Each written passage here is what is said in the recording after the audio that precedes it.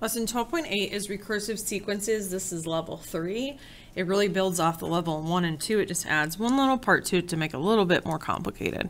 So we know our first term is 10. We're trying to find the fourth term in the sequence.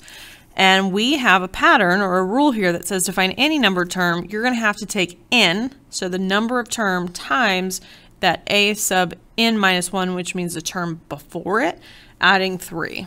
So if our first term is 10, we're going to have to find the second term next. So our n value is 2. That's what we're going to sub in, is n is 2.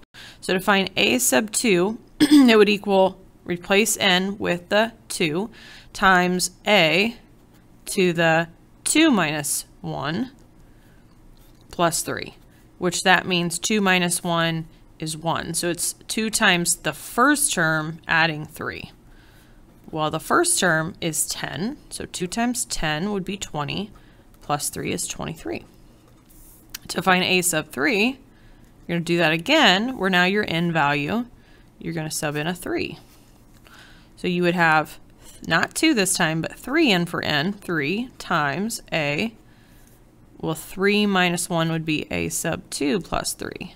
So you're taking 3 times the second term, which was 23, plus 3. 3 times 23, well, 3 times 2 would be um, 69 plus 3 would be 72.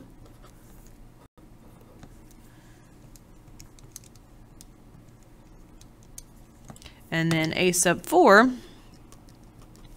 you would be now plugging in n is 4 every time you see n. So it'd be 4 times a sub 4 minus 1, so a sub 3 plus 3. So it'd be 4 times the third term, which was 72, plus 3. 4 times 72, 288 plus 3, get you 291. So the fourth term in the sequence would be 291. So again, just be aware that anytime you see n, it's just the numbered term that you're trying to find.